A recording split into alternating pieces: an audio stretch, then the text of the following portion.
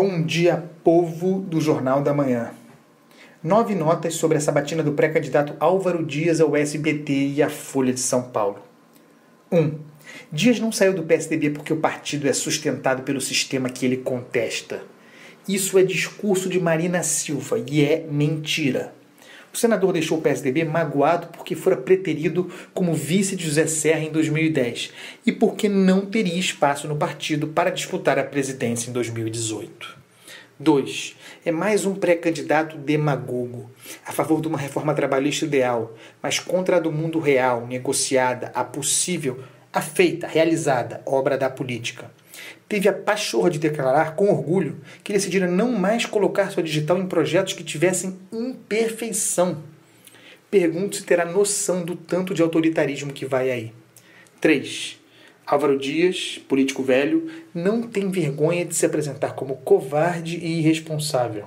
Sabedor de que a proposta de reforma trabalhista, essa que foi aprovada, tinha boa margem para ser, claro, recebida no Senado, preferiu fechar com o mundo da lua e votar contra, como forma de protesto.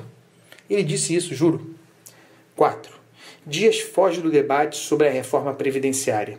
Voluntarista, como todo demagogo, diz que priorizará uma reforma do Estado vaga contra o privilégio no andar de cima. Será o novo caçador de marajás? 5 político profissional com 42 anos de mandato seletivo, senador pela quarta vez, ex-governador do Paraná, Álvaro Dias propõe a refundação da República que ajudou a afundar. É belo. 6. Abramos aspas para o senador. Eu nunca mudei de partido, porque não admito a existência de partidos no Brasil. Fecha aspas. Não esperem coerência nem autocrítica de Álvaro Dias. Ele pula de sigla em sigla, colabora para o esvaziamento da democracia representativa, mas a culpa, claro, é dos outros. 7.